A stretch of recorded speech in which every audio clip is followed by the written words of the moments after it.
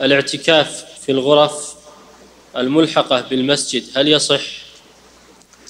إذا كان المدخل الغرفة من المسجد بابها على المسجد فهي من المسجد. أما إذا كان بابها خارج المسجد فلا ليست من المسجد. نعم.